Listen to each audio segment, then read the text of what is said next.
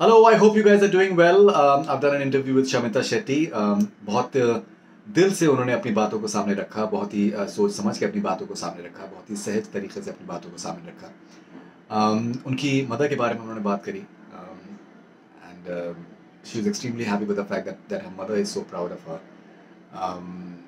she has been around for quite some time Shamita and बहुत अरसे के बाद में उनको इस किस्म की पॉपुलैरिटी उनको मिली है उनके पिताजी अगर होते तो उनके रिस्पांस के बारे में शमिता ने बात करी। काफ़ी लम्हे ऐसे थे कि वो काफ़ी, ऐसा लगा कि जैसे काफ़ी काफ़ी इमोशनल हो रही हैं। शिल्पा के बारे में उन्होंने बात करी और शिल्पा किस तरीके से शिल्पा का जो वीडियो मैसेज आया था तो how you impacted her and the fact that Shilpa introduce her silk that I am Shamita Shetty is sister Rakesh के बारे में बात करी। उनको इस चीज़ का अफसोस है कि certain certain fans Rakesh Kaur की फैमिली को सोशल मीडिया पे कुछ गलत सलत बातें कही हैं तो not happy with that she is extremely happy with the fact that that Rakesh has stood with her like a rock and it is it is a very special relationship for for her right now she said that if if Rakesh is in pain then I am in pain obviously बहुत सी जो जो मसले मसाइल रहे हैं Bigg Boss fifteen के house में उसके बारे में डेफिनेटली उन्होंने बातचीत करी। Uh, तेजस्वी से जो भी उनके इश्यूज़ रहे हैं उसके बारे में उन्होंने खुल के बात करी कि उनको वर्ड आंटी से उनको कोई प्रॉब्लम नहीं थी लेकिन जो कॉन्टेक्स्ट जिस तरीके से यूज़ किया गया um, वो उनको सही नहीं लगा. And that is something that that that she was not happy with and lot of other people they not like that Karan के बारे में उन्होंने बात करी करण कुत्रा के बारे में बात करी उनका that that that if given a chance he would she would work with him but she also said that I am disappointed way um, he conducted himself towards the end. That is something that, that she told me. Um, Pratik, उनको लगता है कि Pratik was a, was a deserving winner. Uh, she said that I was shocked when uh, Tejasvi became the winner, was announced as the winner, so I was shocked.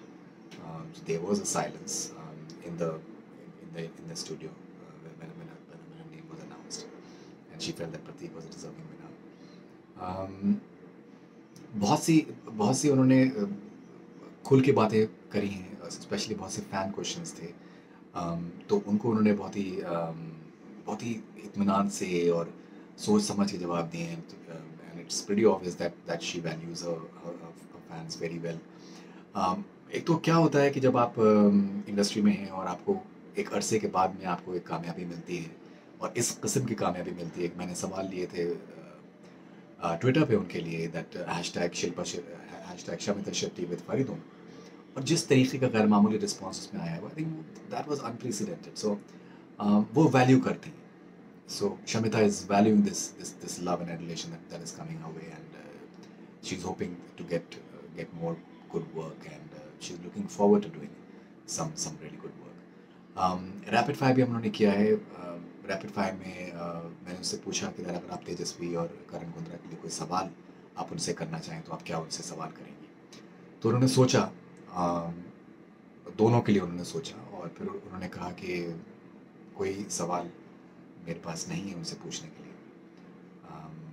So it was interesting overall बहुत बहुत ही I think बहुत ही अच्छा conversation है बहुत ही बहुत ही सुलझा हुआ conversation है। uh, ना सिर्फ़ शमिता के फैंस बट आई थिंक जो भी बिग बॉस को फॉलो करते हैं I think they will they will have a good time going through this conversation और I'm, I'm looking forward to meeting her in person hopefully soon. Uh, and uh, congratulations to her once again for conducting herself the way she has conducted. Thank you for watching.